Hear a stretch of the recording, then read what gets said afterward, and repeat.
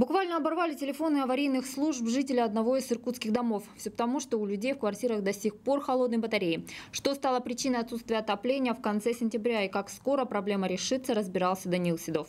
Обогреватель для Анны Карачаевой и ее сына уже две недели является предметом первой необходимости. Все потому, что в квартире иркутянки до сих пор нет отопления. Еще 17 сентября во время тестового запуска системы обогрева произошла авария. В результате многоквартирный дом на улице Нестерова остался без тепла. Совсем. И теперь местным жителям приходится ходить по квартирам в верхней одежде и спать под двумя одеялами. Днем еще более-менее, ну точно, наверное, градусов 18 в квартире днем было. А вот ближе к вечеру, когда уже на улице холодает, и ночью, ну невыносимо, ну там действительно было очень холодно, спасал только обогреватель. И то это на ночь его не оставишь, страшно.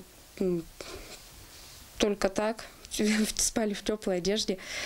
Что еще можно было делать? Ребенок перепростыл, нас отстранили от детского сада. Проблем местным жителям доставила и погода, которая стояла в конце сентября. Из-за проливных дождей стенки деревянных домов отсырели, и в самих квартирах влажность резко выросла. А из-за этого по вечерам там становится очень холодно. Тем не менее, приводить в порядок систему никто не торопился. Дело в том, что авария произошла не в самом доме, а возле него. А значит, ремонт должна делать управляющая компания. Но выходить на участок специалисты специалисты не спешили. В итоге местным жителям пришлось требовать скорейшего исправления ситуации от администрации города. Управляющая компания сделала приемок, устранила течь в цоколе здания.